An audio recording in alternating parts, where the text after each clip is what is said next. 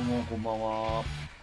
えーちょっと、えー昨日、えーと、名古屋で試合やって、その、まあ、その疲れで、えー急帰って、今、ここにいるんですが、若干眠たいです。若干眠たいです。えーと、早速なんですけど、すいません。ここにコメントの方、えーお願いします。お待ちしてます。えーっと、あ、すみません、えーっと、今日は、まあちょっと、まあ後であれなんですけど、まあもうポスター完全に貼ってあるんで、まあこれは後で言うとして、えーっと、えーっと、前回の、えーなんだっけ、6月、6月か。ちょっと6月が試合なかったんですけど、ちょっと7月に入ってから、もう2週、かれこれ2週、ちょっと土日で連チャンで試合入って、まあ試合があったんですけど、えーっと、7月のまず5日に、あ、5日だ。5日に、あの、えっ、と、平塚の方で、あ、そう、これこれ、これですね、あの、平塚の新宿横丁ってところで、あの、まあ、七夕祭りの中で、こう、プロレスをやったんですけど、あの、これ、あ、はい、あの、写真あります。あの、特別ゲストで、あの、鈴木みのる選手が出られまして、あの、まあ、そのちょっと写真ないんであれなんですけど、あの、まあ、僕、あまあ、誕生日が6月17日生まれでしてであのなんとあの鈴木みのりさん実はあの6月17日同じ6月17日生まれでしてあこれなんかすごいあの本当にもうレジェンドの 大レジェンドの方が同じ誕生日っていうことでちょっともうあでまあ実は僕本当10年前に一回あの なんだっけなあの海援隊の海援隊に入りたての時にあのプロレスキャノンボールってなんか映画がございましてでその時に一回そのなんか鈴木みのり選手と葛西選手とあの高木三四郎選手がなんか千葉に来てなんか試合をするっていうなんかあったんですけどその時にあの鈴木みのりさんと一回シングルやらせていただいてまあでもその話したらすごいあの本人も覚えていらっしゃったのですごいあのいろいろまあそのこととか、まあ、あとはいろいろアドバイスをいただいてすごい貴重な時間を あの、はい、貴重な時間でしたね。で、まあ、次6日なんですけども、これ、ちょっとすみません、ちょっと、あの、写真がめちゃめちゃ中途半端なんですけど、あの、相原プロレスって、あの、東京の町田の結構奥の方にある相原市っていうところがあるんですけど、相原町、相原っていうところで、まあ、プロレスやりまして、ちょっとすみません、めちゃめちゃあの、中途半端なコーナーポストしかない写真ですすみません、申し訳ないですけど、これあの、ああ、こんな感じです、全体。はい。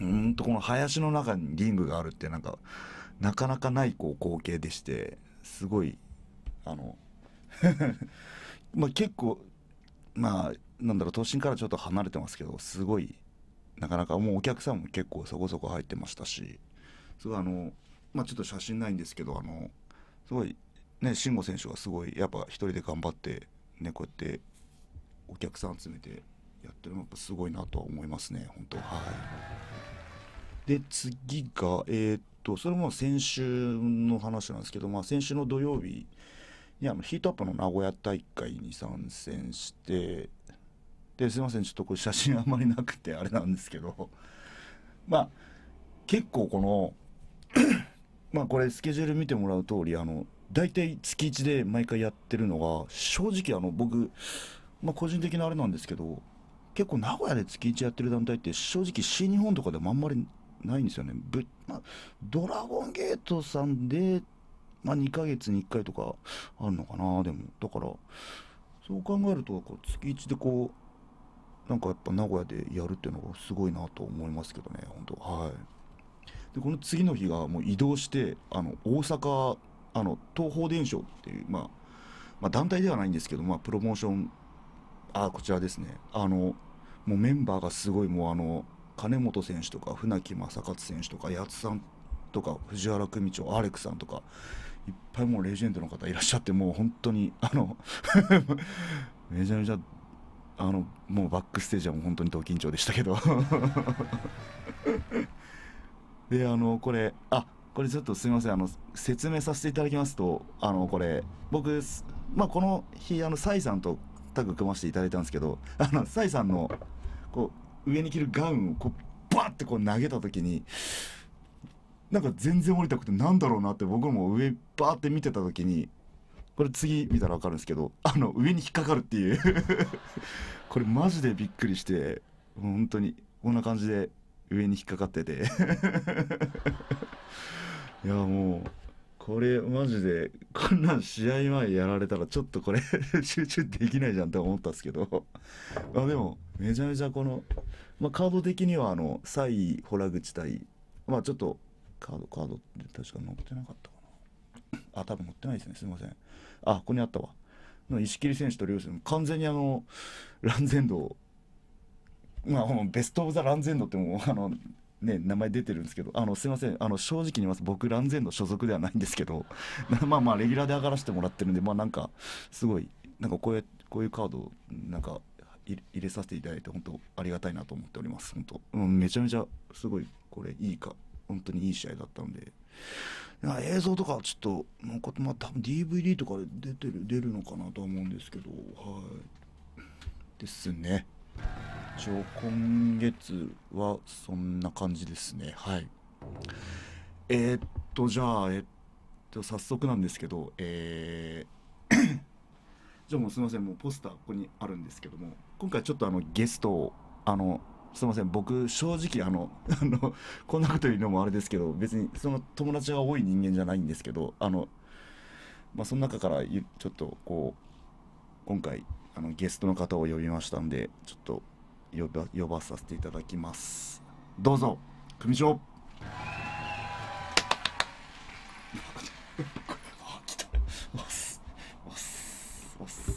こんばんは、えー、プロレスリング境組組長の酒井宏樹です。お疲れ様です。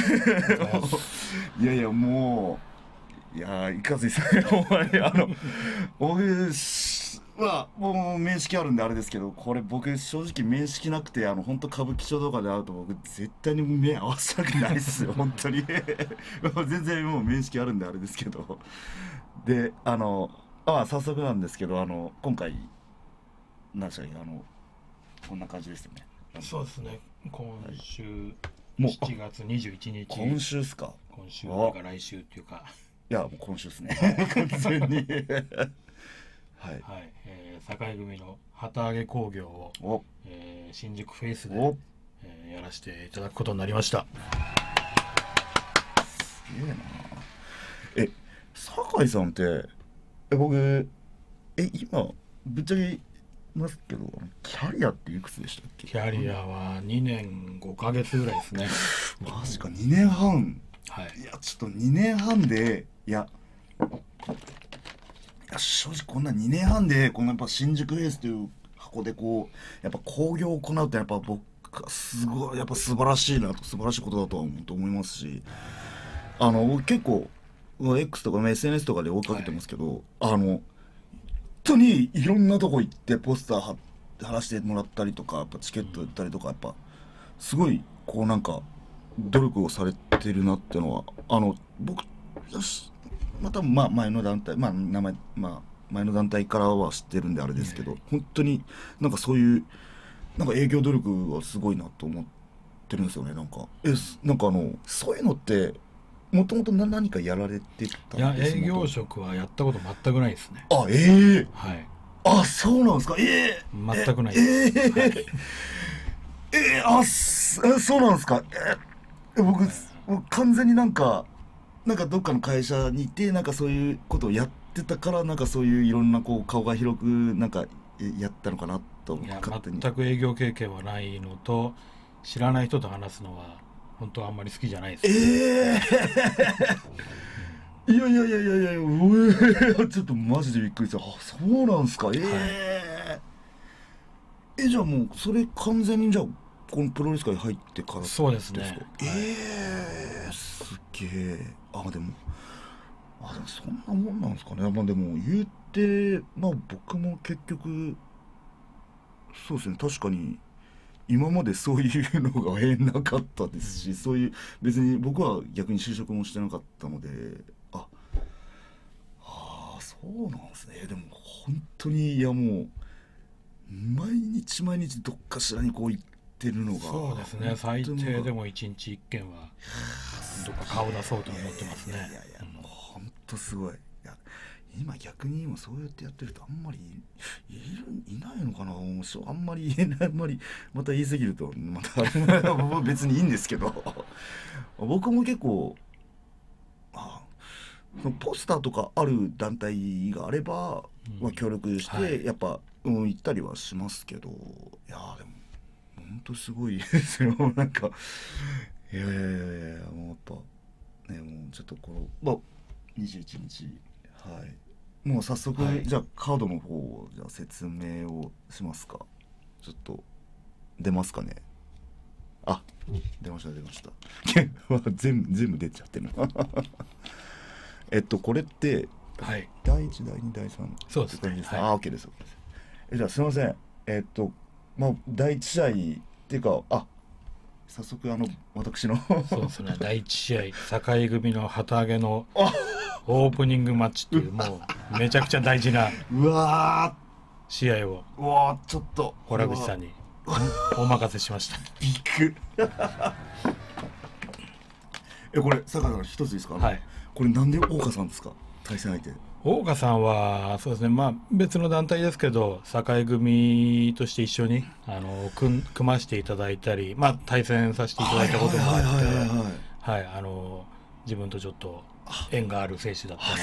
そうやったんですか？いやいや、はい、あの僕これ正直にカード聞いた時にえこれあの何回か聞き返しましたからね僕、言うて、うん、あのまあちょっと僕の中で、まあ、因縁とかじゃないんですけど、はい、まあちょっと、まあ、本当にこれもう10年前ですかねあの、まあ、僕キャリアのスタートが、まあ、WNC って団体だったんですけど、まあ、そこでデビューして、はい、まあ2014年にまあ解散したんですけども本当にその解散してすぐフリーになった時にあのちょうどその時あの紀藤選手と、はい、まあ、僕で、まあ、その岡さんのまあ、その頑張れプロレスになんか乗り込んだんですよ、確か。ちょうどその乗り込んだのが確かまあちょっとすいません写真もあのデデータももないんですけど、えー、最初あのなんか市ヶ谷の,、はい、あの今ガトムさんがよくやってるところに、なんか確か最初乱入したような記憶があって、で、まあ、そこから確かその、まあ、試合1か月後ぐらいだったかな確か8月ぐらいだったと思うんですけどカードを組ませていただいて確か僕と紀藤さん対大岡さんとあのまだ鈴木氏になる前の鈴木真だったんですよ。あの あの彼鈴木氏が一応学プロだったんで。ベッドシーン。あそうそうそうそうそうそう、そうそうそう。だから鈴まあ大岡さん、えーと、タイガーベッドシーン対、えーと、と洞口紀藤さんだったんですけど、うん、いや確かそのな本当だからそれがまあ、パッてなんか思いなんか思い出しちゃ思い出していやこれえー、いやすごいなと思って。いやだからまあ因縁は本当にないんですけど、はい、本当なんか純粋になんか結局その1回しか結局組まれなかったのかな。なんか、まあ、僕も結局あの後、まあその海援隊道場所属になっちゃったのと、まあ、ちょっとなんかうむ、まあ、うやむやというか、まあ、まあ、うやめになっちゃったんで、まあ、なんかちょっと本当これきっかけでなんかちょっとこうなんか因縁じゃないですけどなんか生産生産できればいいかなとは 僕は思ってますね。本当なんか。いや本当10年越しの僕はもう本当に試合だとこれは試合だと思ってるんでちょっと本当にこれ、マジで楽しみですねもう。そうですね 本当に、はい、いや本当酒井さんありがとうございます。オープニングなんでね。熱い試合を本当に期待してます。おっす。ありがとうございますでえ次は第2試合ってどれになるんでしたっけ、えー、6人タッグ、ね、6人タッグ、はい、あこれですね。あこれ佐野さんとあ田馬場君と黒帯選手か。はいで吉田紀之さんと久保倉さんですね、はい、ああめちゃめちゃこれはこれ面白面白いカードですね。そうですね。このカードもちょっとまあ2点3点あってメンバー変わったりして。あまあまあまあまあまあはいはいはい、はい、最終的にこの対戦カー。ド落ち着いたんですけれど。はいはいはいはい。まあどこ見ていいか分かんないカードですね。僕ちょっと一ついいですか、はい、僕黒帯選手って、ええ、初めましてなんですあそうなんですね。なんかあまあ多分名前の通りやっぱ黒帯の方なのかな、ね、柔術が黒帯なのか。柔術界ではそっちかそっちなんですね。レジェンド的な方だと思われます。あそうなんす。かいやなんか本当に初めましてだからこのこの日お会いできるのがすごい楽しみだなと思ってまして。まあまあ佐野さんとかもあのスタンリーとかでお世話になってるんであれですけど、はい。本当に面白い方なので、はい、でも久保村さん僕最近あの結構名古屋で試合され試合することが多くて、はい、その時に結構お会いはしお会いしたりはするんですけど、はい。本当にキャリア20年以上はやってるのかな本当そううん20年ぐらい長いですよねでも本当に。だと思いますね。本当毎回結構試合のアドバイスとかいろいろはい。あのー自分と年齢は2人ともご一緒で、え？はい、え？ちょっと本当ですか？え？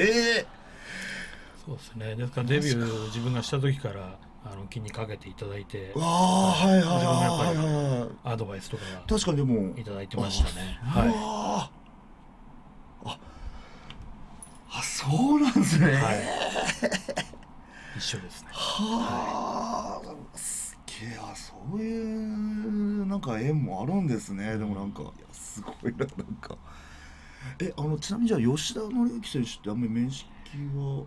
直接はそんなにないですね。試合で一緒あの大会でご一緒させていただいたことはありますけはいはいはいはいど、試合で絡んだこととかはないですね。はい。僕も確かにそう言われると同じ会場にはいるんですよ、うん。なんか。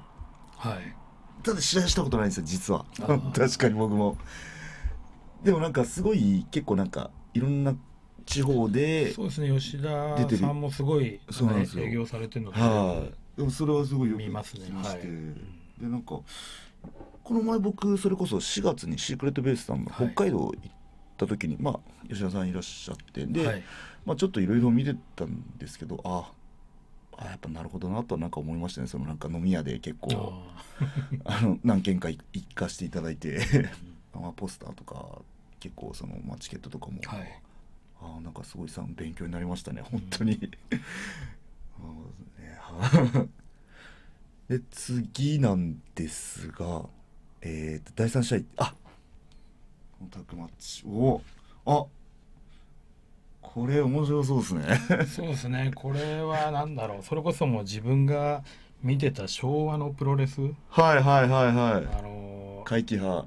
名前出していいのかあれですけど、FMW とかウうんィウィングとか、そういうのを自分が見てた頃。はいはいはいはい。のちょっとプロレスをもう一度見たいなと思いまして。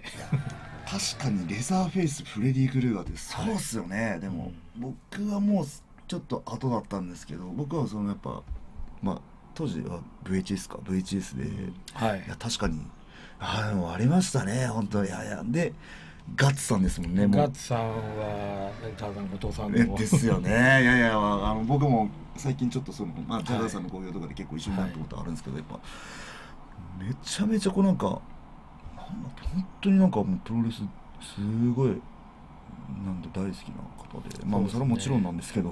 で長谷川さんもよくあの大仁田さんのああ。の大会とかに出られてるんで、はいそうですね。そういう戦い方は慣れてると思われるんで。確かに。いやはい。僕あの長谷川さんに関してはちょっとあの大阪のこれがプロレスでよくあのお会いしてあの、はい、結構あの系統的に言いますと酒井さんと長谷川さんが似てるなってのはあすいませんそうですね今はあの長谷川さんのあの団体。あ A チームですそうですね A チームにも出させていただいてるんですけどそこではあの激動会あ堺組はあ共闘宣言してあますので、あはそうなんですね、はい。あらららあ手組んじゃったんですね。い、そうですね。そのまあ関係もあって今回ちょっとまた長谷川さんとか久しぶりだな、は えー、これ本当楽しみですね。でもこれは見てみたいっす。でも本当に普通にお客さんとして見たいですこれ。だそうですね。基本的には全部自分も見たいんですけど、ね、まあそれですもんね、でも。まあ自分が見たいカード。をまあ、はい。そうですもんね。組みましたね。はい。で、えー次第4試合は何になるんでしたが女子ですね。あ女子。はいはいはいはい。あ唯一女子そうですね。珍しいはい。えっ、と佐藤。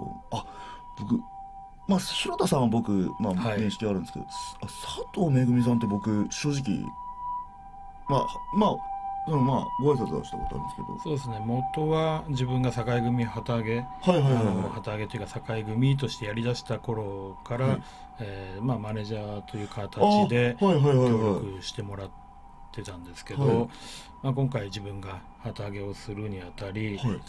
まあずっとあの佐藤の方も、まあ、実は出身は元 LLPW あへええあのか神則さんの？そうですね。ええまあ神則さんや風間さんの付き人をされてたと思うんですよ。えちょっと待ってください。あれ？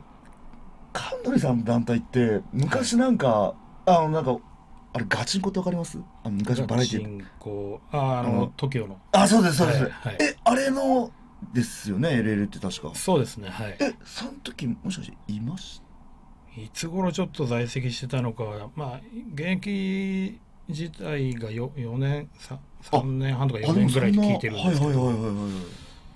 ちょっと自分はあんまり現役の当時は知らないんですけれまあど僕もそうですね。えだって何年ぶり？25年って言ってましたね。25年、25年。えちょっと待って。25年ってまだ僕正直えちょっと待ってよ。25か。で当時はあのまだ高校卒業する前にえ？あのデビューしたみたいであの元祖女子高校生レスラーって言われてたええみたいですね。はい。元祖女子高生レスラー。うわまあ今で今ではもうそういう子そうですね。大体今いますけど当時だと珍しいんですかね、うん。でも。一番最初だったみたいですね。あそうなんです、あれ？あそうなんですね。あなるほど。なあれあの人あまあまあいいや。ええ25年。でただ途中であの、まあ、正式な引退とかっていう感じではなくあはいはいはいはいはいはい。まあやめたというかまあ言葉悪く言えば逃げ出したっていう感じであまあまあまあまあまあやめてしまったみたいでその後悔っていうのがずっと、まあ、心のどっかにあったみたいで。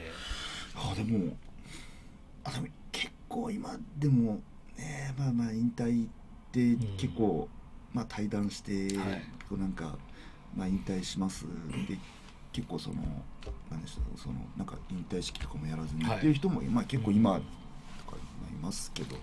まあでも本人の中ではずっと引きずってたみたいなんで。ああそうまあそれを消すにはまあ。まあもう一度挑戦するしかないんじゃないかと。まあそうですね。まあまあ僕もすみません。正直今その経験がまだないんで何とも言えないですけど。あでもそうですよね。25年ってもうすごいな。まあ、今回のこの旗揚げというか境組のコンセプトが、まあ、自分を含めですけど、ああうん。あの挑戦することに年齢関係ないっていういやもうこのこのワードがはい僕すごいやっぱしびれましたね本当に。あのいや僕もあのぶっちゃけ言いますと結構デビュー遅いですよ僕も。あの本当に30でデビューしてます。まあまあ正直酒井さんからしたら全然そんな 大したことないんじゃないかっていうぐらいのあれですけどまあすごいだからそこに関してはすごいやっぱ共感も持ちますしやっぱ酒井さんってもう40えー、と今年50になりますね。今年で、まあ、50デビューしたのが47なんで、いや、はい。これ本当にすごいことっすよ。本当に47でこの本当にプロレス界に入るっていうのがもう本当に 本当にすごいっすねもう。よくね人生捨てたとかい言われま本当に。うん。ねあのまあ僕の知ってる限りですとあのまあちょっと今し名前出しますけど、はい。あの篠瀬水戸七っていうのがいたんですよ。まあちょっと。はいあれは水戸七っていうのは37でデビューしたから水戸七っていう名前でやってるんですよあー実は。完全にそれを超えましたよ本当に。すごい。まあまああすいません。ちょっと とりあえず話あれしたんじゃうけど。で、えーまあそういうコンセプトでやってるんで、はいはいはいはい。まあ、佐藤の方も、まあ、そういうのにあの、まあ、同じ思いを持って、まあ、今回ぜひっていうことでえちなみに佐藤さんっておいくつ？いくつだろう？今46ぐらいですかね。あすっげえマジか。で対戦相手の広田さんも同じ年らしいんですよ。うわー広田さんそんな言ってたんですね。でいろいろ話をしていくと、はい。デビューもい同期だったみたいで。でなんかもう身長も体重もほとんど一緒っていう。ええちょっと驚きの連続ですね。これは。いやいやいやこれすごい。はい、これはねでもこれもねすごいですね。なんか見たいですね。でもやっぱ、ね、本当に佐藤さんもね頑張ってもらいたいですね。本当に。ちょっとここ長くなりましたけどすいません、はい、ちょっと第5試合ですね。すいません。あもうセミファイナルですかこれ、はい、いやちょっとこれすごいですねもう。あの絵だけで本当に完全にもう、ね、なかなかないかなと思ってねないっすね、はい。え片やまあゼロワンじゃないですか、はい、もう、はい、クリス、えーと、菅原さん横山選手、はい、完全にゼロワンで。で相手がもうバラモン兄弟に優作さんですからね、ね、これやばいっすよ、もうあのとりあえずバラモン兄弟いる時点でもうとりあえず会場めちゃくちゃになりますからね、本当に、ね、もう確実に水浸しになりますよ本当、うん僕とかセコンド普通についててもめちゃめちゃ水ぶっかけられますからね本当に。でねもう一人がなんか今ねノリに乗ってる伊藤優作さん、ね、ね優作さん、はい、いやすごいっすよね。僕あのキャでちょっと一個まあ優作さんの方が上なんですけど、うん、最近結構よく会う機会が多くて、あの本当になんかデスマッチ最近よくやってて、いやなんか最近もねあの武田選手とねそうですね。やってましたね血だらけになってましたね。ですよね。もうめちゃめちゃ体張ってるよなって思ってそうそう。ちょちょっとだから心配はしてたんですけどそこで大怪我して出れなくなっちゃったからね。ね、はい、いやだから僕そのまあ先週そのヒートアップ名古屋あったんですけど、はい、まあそのまあ終わったぐらいにあの優作さんフラッと来て、えーめちゃめちゃ元気そうだなと思って。よよかったです 本当に。いやいや、はい、今若干なんかちょっとこう半分酔っ払ってた感じだったんですけど、うん、まあまあまあ多分それが、まあ、あの人のあれなんで。いや本当にいやもう優作さんすごいっすねマジで。そうですね。はい。えこれってちなみに、はい、あれなんですか？ルールって普通の？普通ですね。普通ですか？まあまあまあまあなんかハードコアとかではない感じです。ですね。なるほどなるほどなるほど。でも絶対に何かもうリング上というかリング外にもなりますので絶対にもう本当に本当これ間違いなく事件起きますよ。そうですね。本当にどの組み合わせでもまあそうですね。すごい面白いね新鮮では思いますけど、はい、多分そうですよね。でももうあんまり。多分見たことはないと思いますやっぱりククリス・バイス対バラモンとかも なかなかないですね、はい、あれでもあれじゃないですかあのバラモン兄弟ってもともと登竜門なんですけど、であの菅原さんも登竜門なんで、ね。はい、まあそういう点意味ではなんかねなんかそういう まあまあそのバラモン兄弟さん的にそういうあれ話はあるのかわかんないですけど。えー、いやでもこれ面白そうだな本当に。はい。えでこれの次はもうメインなんですもんね。もうメインですね。はい。はい。ああ出ましたもう組長ですね。はい。えっ、ー、と藤原組長対と田中正人さん対、はい、酒井さんと佐助さん。はい。もうこれはもう完全にもうそうですね。あのまずあれですね。田中さんは、はい、あれです、ね、自分がプロレス界入って、えー、一番戦いたいなと思ってた選手が田中さんなんですそれでこのカードは組ませていただいたんですけれどあと藤原さんはもう、はい、もうそれこそ元祖組長ですよね。もうですよね、もう見たまんまっすよね、はい、もうマジで。一度、まあ、あのタッグで対戦させていただいたことはあるんですけど、はい。まあでもあの自分も組長と名乗るからには、まあ、もう避けては通れないですね。すね昭和の組長の首を取らないといけない。はい。いやいやいや、あの僕正直あの先週の日曜日にその、はい、東方伝承というところで、えー、あのまあ、藤原組長出られてたんですけど、はい、あの正直めちゃめちゃ元気そうですね。完全に。あの一回なんかがんで一回欠場されてたんですよ確か、まあ、僕一回それこそ僕会員隊行った時に一回東北ツアーかなんかで、はい、一回当たらせていただいたんですけどもうやっぱ一発の頭突き一発でも本当にそうもうですね。あーってなっちゃいます、うん。本当に。あーなんかやっぱこれがショーのレスラーなんだなってもうだって脇固めと頭突きだけで、そうですね。出ただけでもう歓声湧くってそうなかなかないですよのテーマ曲になっただいけで。やーですね。わかりますわかります。あのね我々もファファンに戻りそうですけど。そこはわかりますわかります。そこはこらえて、はい。うんああすごい。いやいいなえちなみにサスケさんはそのサスケさん最近あれあのよく一緒にく組ましていただくことがすごい多くて。はい。あとそうですね試合前に練習とかあ。あの少し見ていただいたり。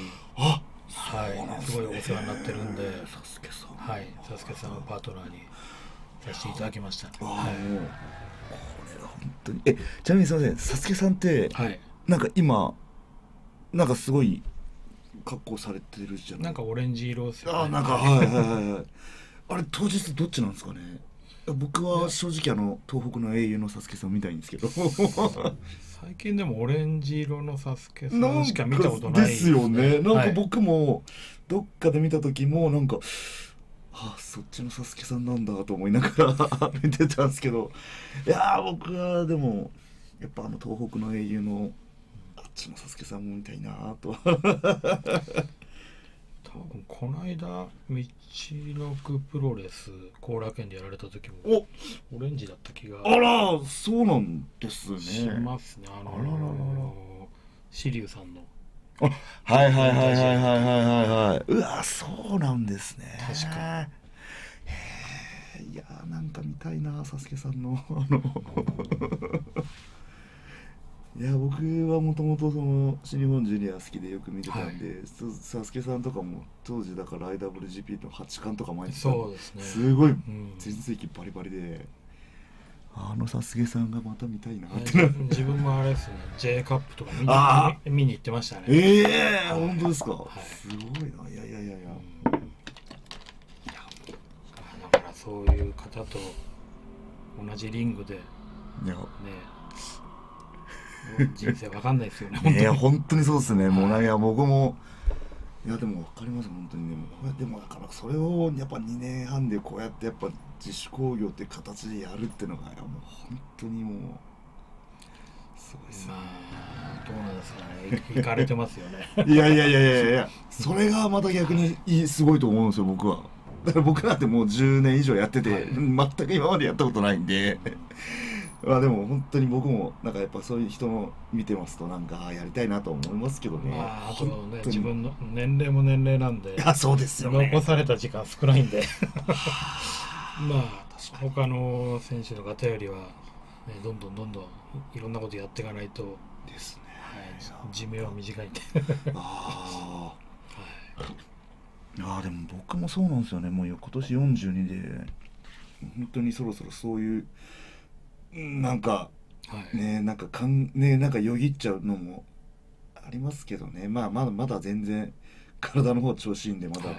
まあやめるつもりはないですけど、え ああすごいなでこれって全6試合？5試合？6試合六試合。とあとああとですね、はい。と特別ゲストで、はい特別ゲスト、えーはいポン。あれ。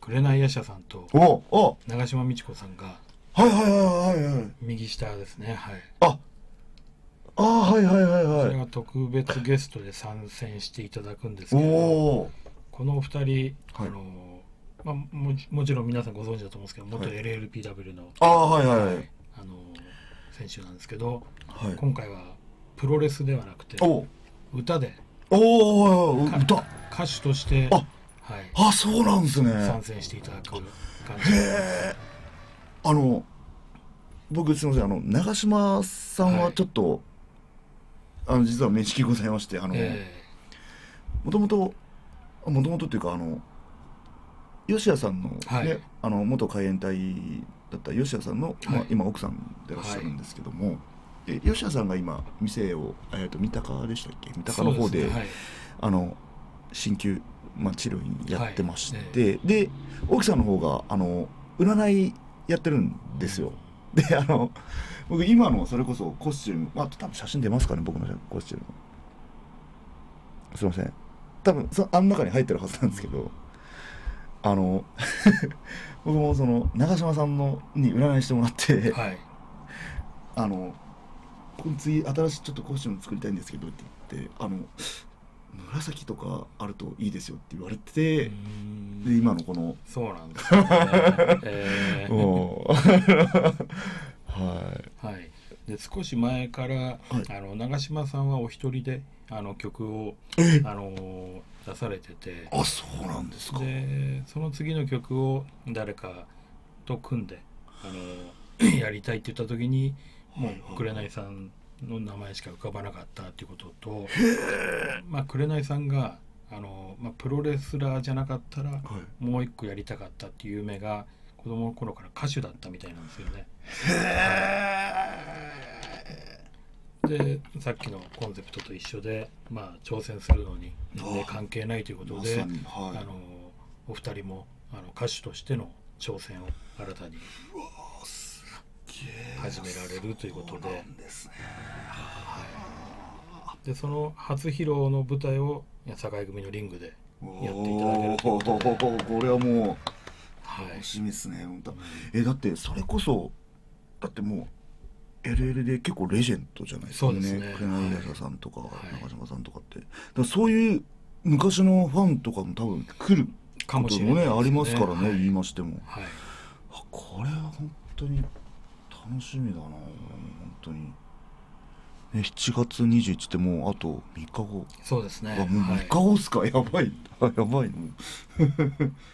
あぜひあのねもそうですね。もうちょっと最前列とかカウンター席っていうのはほとんどないんですけどあまだ他の席ありますんで、あ。はい、だったらはい。ぜひあのお越しいただけたら、ぜひ、はい、ぜひぜひ私も出ますので。はい、ぜひ見に来てください待ってます。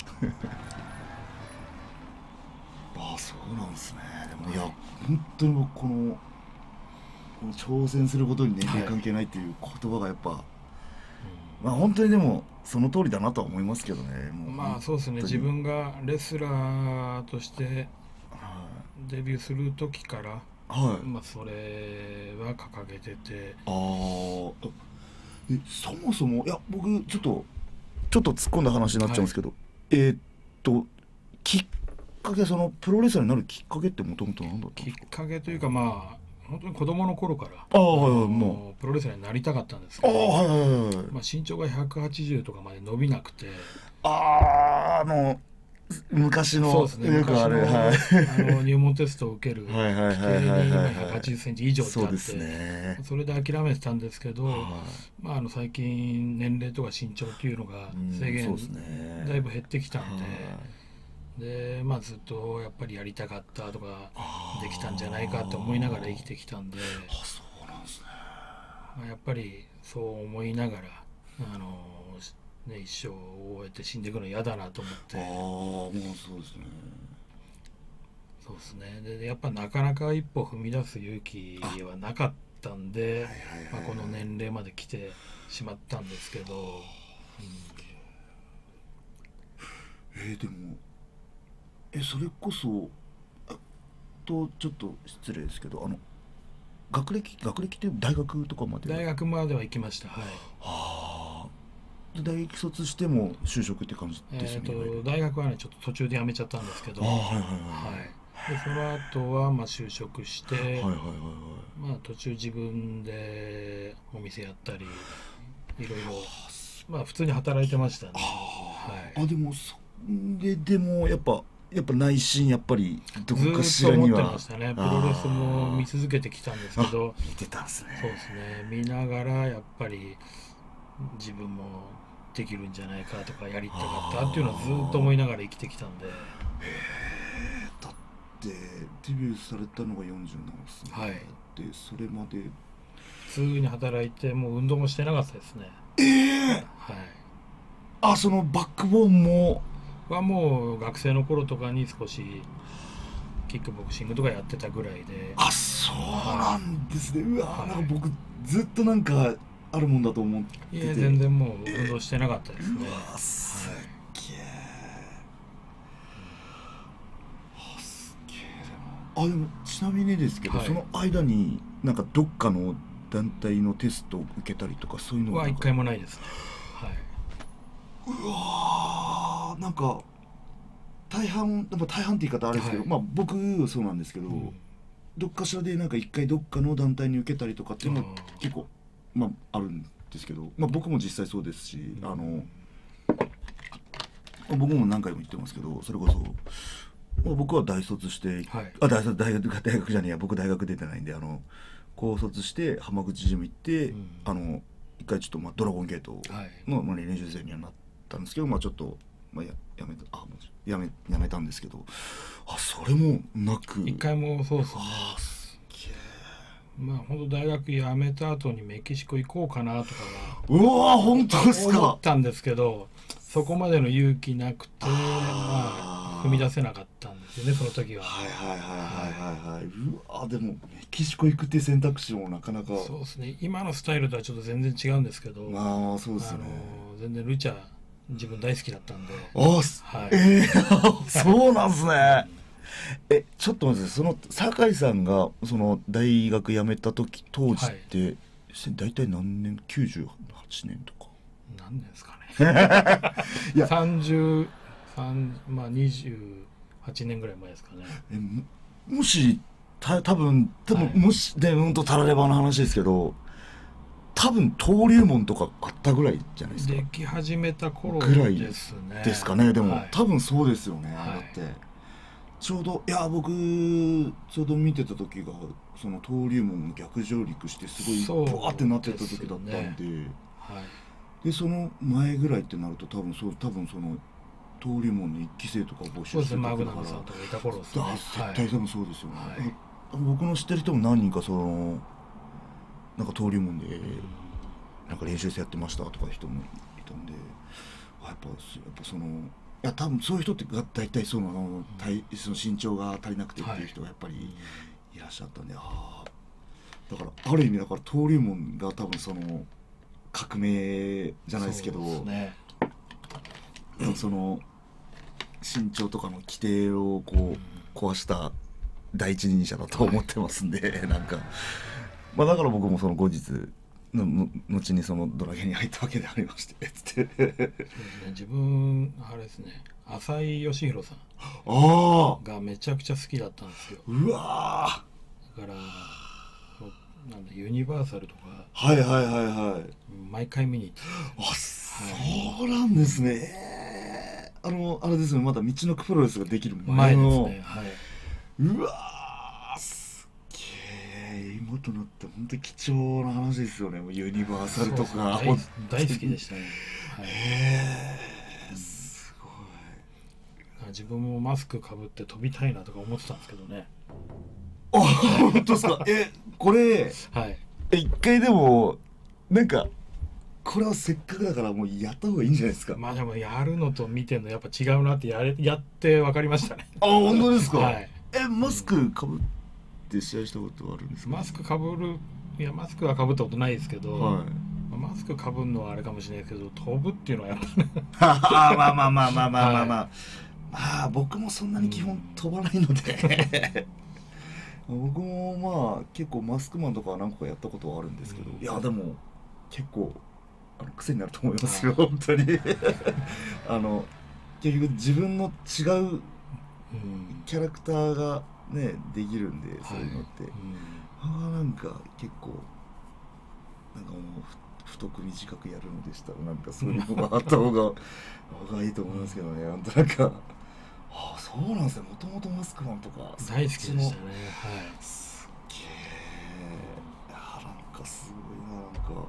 えでもそっからでも20年かけてえでもそもそもその最終的なその要はもうそのプロレスラーはいになるきっかけっていうのがもうきっかけはそうですね、まあ、それこそあの前いた団体で、はいはいはいここにはいあのさっき話してた鈴木慎さんああはいはいはい鈴木氏が、はい。あのたまに来られてたんですよ。はいはいはいまあいあの、はいあれですね道場とかやってますもんねそうです言いまして。はいはいその空いてる時間で練習をちょっと見てくださいってことでマンツーマンで練習見ていただいたりしてるうちに、はいはいはいはい。やっぱり本格的にプロでやりたいなっていうはどんどんどん出てきましたね。はいはいはい。あだって僕正直あまあその前の、まあ、酒井さん言ったんで、はい。僕も結構練習とか行かせていただいて、でそれこそ、まあ、練習も一緒にさせてもらったりもしてたんですけど、あそうなんですそうねですねその練習生になる前ですね。あれって、なんか道場とかってあるんですよね、はい確か、はい。もうそこに行かれてたってことですか？そうですね。はい。はあそうなんですね。まあでも確かに今ってやっぱ窓口間口が結構やっぱ広くなりましたもんね本当に。そうですね。もう、うん。本当に多分僕がデビューした12年前よりもさらにまたやっぱ間口広がってるんで多分今って本当にまあ言い方あるかもしれないですけど本当に誰でもなれるっていう環境にはなってるんで、いやでもやっぱそこからままたやっぱり練習いろいろしてやっぱ選ばれた人間がやっぱそうですね。なれるんで。やっぱり自分の中ではずっと見てきた昭和のプロレスがあって、はいはいはいやっぱりプロレスラーは強くなきゃいけないいやもうそうですねもちろん。根底にあるんで。はい。いや僕もやっぱそれはもう、あの中にやっぱあありますね。まあ正直僕はちょっとふざけてたまにちょっと別のことやってる時あるんですけどやっぱ僕もやっぱ根底は僕もそれだと思ってるんで、もちろん。はあすげえそうなんだいやいやいやいやもうなんか今日今回すごいなんかもう酒井さんの なんかいや僕も初めて全部初めて聞いた話なんでいやすごいびっくりしましたなんか。あすごいなあなんかすごいめちゃめちゃ長くなってもう気づいたらもうあの もうもう切っちゃいましたけどなんか。よくよかったです本当なんか。すみませんなんか今日ありがとうございますなんか。もうちょっとここでちょっとあのまあもう3分ぐらいしかないんですけどちょっとあの今後の僕の予定なんですけどまあああもう出ちゃった。えっ、と今週の土曜日にあの吉野幸太郎選手の10周年の記念大会にちょっと出させて参戦します。一応カードももう決まってるんですけどはい。えっ、と6人タッグですね僕は。はい。そこのまあちょっともともと吉野選手ってあの海援隊入った時が結構時期が大体同じだったんでもうすごい、まあ、仲良くさせてもらって、まあ、まあこういうふうにもね興行にも出させていただいてすごい、まあ、ちょっとこれも楽しみです。で、えー次がえっ、とえー、とシークレットベースさんこれ7月21のまさにこれ境組の日の昼昼なんですよ。で、えーちなみに言うとこれあるんで僕あのダブルヘッダーになります。いやだから正直今週はあの3試合ですね。もう本当に。えーでカードが一応こんな感じなんですけど。えーちょっと僕のカードがちょっとまああの諸事情ございましてあの後藤選手ちょっと欠場になりましてまあカードが変更になったんですけども。はい一応まあタッグマッチとなっております。はいえーとこちらもえーとぜひ見に来てください。はい。でえーとあとなんですけどもえー、と8月3日、えー、とこれ蘭禅道の、えー、とこれ、まあ、大阪の淡路の、まあ、小学校でちょっとまあそのお祭りで、まあ、プロレスをやるんですけどこれあの、まあ、ポスターに書いてあるんですけどあのサイさんの本当に、まあ、母校という母校でやる、まあ、イベントでしてであのこちらにはあのホラちゃんの方が参戦ですねホラちゃんの方はい。まあ、こちらは、えーこれ入場無料だったかな、確か。はい。なので、あの、大阪、まあ、普通に東京からでも大阪、あの新幹線で2時間ちょいで来れるんで、あのよかったらぜひ見に来てください。はい。で、あと、こちら、クライシスが8月31日の土曜日です。もう8月の本当に最後なので、えーカードはもうこちらとなっております。はい。こちらも、もう、あのチケットも受けたまっておりますので、ぜひ見に来てください。はい。で、あとは、えーこの9月7日、あの、ランゼンドの大阪、結構大きい大会になっております。これも、そうですね、久しぶりの大阪なんですが、あ多分これも僕はあの、ホラちゃんだと思いますので、まあ結構まだ先なんですが、こちらも、あの、ぜひ見に来てください。あもうちょっと時間となりましたので、ね、あの本当今日は酒井さん、ありがとうございます。はい、ありがとうございます。めちゃめちゃいい話聞きましたんで、はい、また、ぜひあの7月21日のあの酒井組もぜひ見に来てください。はい。よろしくお願いします。ありがとうございました。ありがとうございました。